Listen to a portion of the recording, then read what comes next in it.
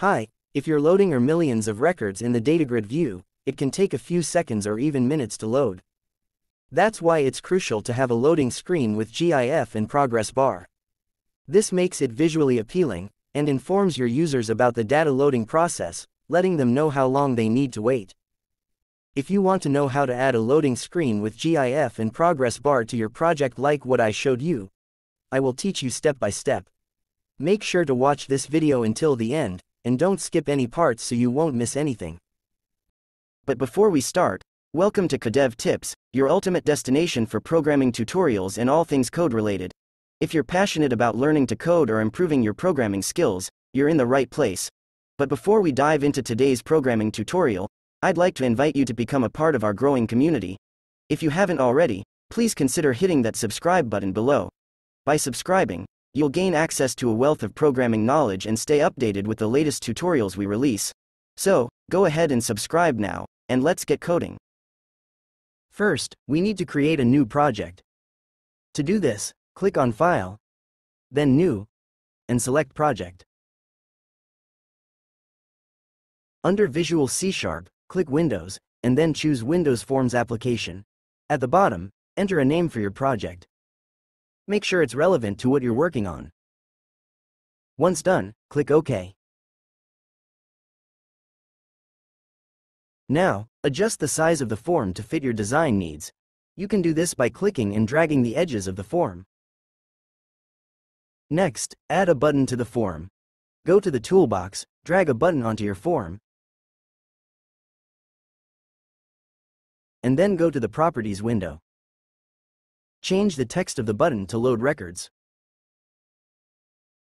After that, add a DataGrid view to your form. Drag it from the toolbox onto your form and adjust its size to fit your layout.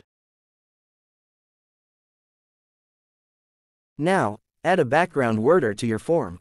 You can find it in the toolbox. This will help manage your loading screen process.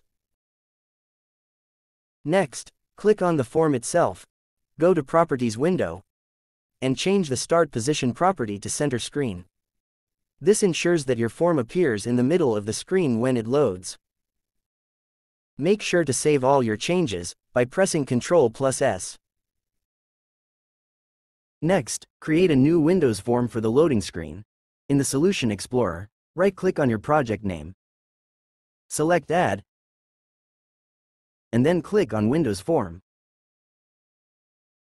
On the left side, click Visual C Sharp Items, then Windows Form. Change the name of the new form to Loading Screen, and click Add. Adjust the form to the desired size by dragging the edges. Next, Go to the Properties window and change the Form Border Style property to None. This removes the border from the form. Change the back color property to white, or any color you prefer for your loading screen. Change the Start Position property to Center Screen, so that the form opens in the center of the screen. Next, add a picture box to the form. Drag it onto the form and position it as needed.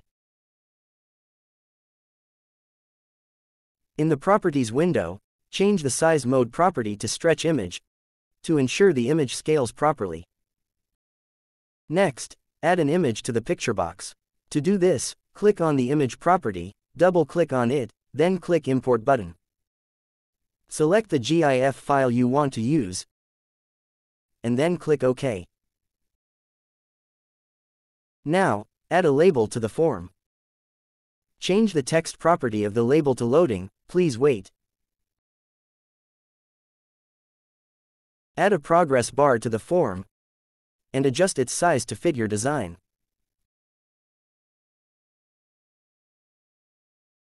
In the Properties window, change the style property of the progress bar to continuous.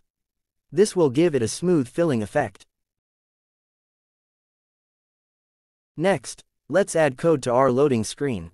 Double-click on the form to open the code editor.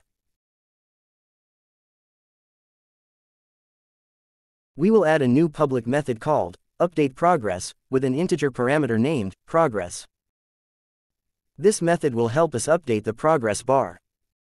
Inside the update progress method, add the following code. Progress bar 1 dot value equals progress. This line sets the value of the progress bar to the current progress. We're now done with the loading screen setup. Let's go back to the main form to integrate this with the rest of our application. Double-click on the main form to open its code editor. At the top of the code file, add the following using directive. Using system.data.sql client. This line allows us to use SQL client for database operations. Next, we'll declare some variables. Add these lines of code, declares a variable to hold our loading screen form. Private loading screen loading.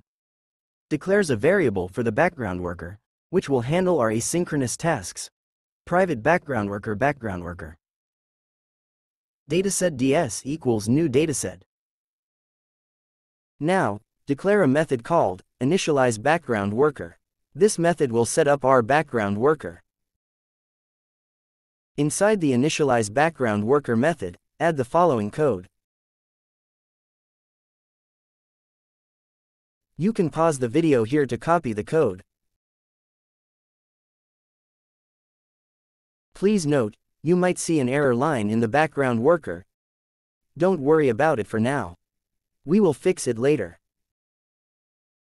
Now, call the initialize background worker method inside the form1 constructor under the initialize component method. This will set up our background worker when the form is initialized. Next, go back to the main form and double-click on the Load Records button. Inside the button's event, write the following code. Loading equals new, loading screen. Loading.show. Background worker.run worker async. These lines of code ensure that when the Load Records button is clicked, the loading screen will appear, and the background worker will start processing the data. Next, go back to the main form again. Click the background worker object, and then go to the Properties window. Click the Events icon, which looks like a lightning bolt, to view the list of events. Double-click on the DoWork event to generate an event handler. Inside the background worker DoWork event, write the following code. First, create a variable for our SQL connection string. This string will contain the necessary information to connect your database. Next, create a variable to store the total rows count of the data from the database. Use query, select count asterisk from sales to get the total number of rows in the sales table. Then, create a variable for SQL select statement. Use select asterisk from sales to retrieve all data from the sales table. Note, in this example, I'm using the ABC underscore store database in the sales table. Make sure to change these values to match the database and table you are using. Next, write the following code. You can pause the video here to copy it. This code is used to fetch data from the database in chunks and report the progress back to the background worker. This approach ensures that your application remains responsive while loading large datasets. After that, go back to the main form again. Click the background worker object. Go to Properties window, click the Events icon, and now, double-click on the Progress Changed event. Inside the background worker progress changed event, write the following code. Loading.update progress e.progress percentage. This line of code updates the progress bar on the loading screen with the current progress percentage. Go back to the main form again.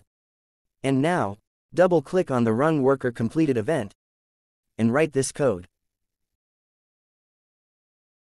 Datagrid view 1 dot data source equals ds dot tables. This line set the data source of the datagrid view. Loading dot close. This line closes the loading screen once the background worker has completed its task. Now we're done. Run the program to see the results. Click the Load Records button. And that's how it's done. We've successfully created a loading screen with AGIF and a progress bar in C Sharp. If you found this tutorial helpful, please give this video a thumbs up, and leave a comment below. Don't forget to subscribe to my channel, and hit the notification bell so you don't miss any of my future tutorials. Thanks for watching, and I'll see you in the next videos.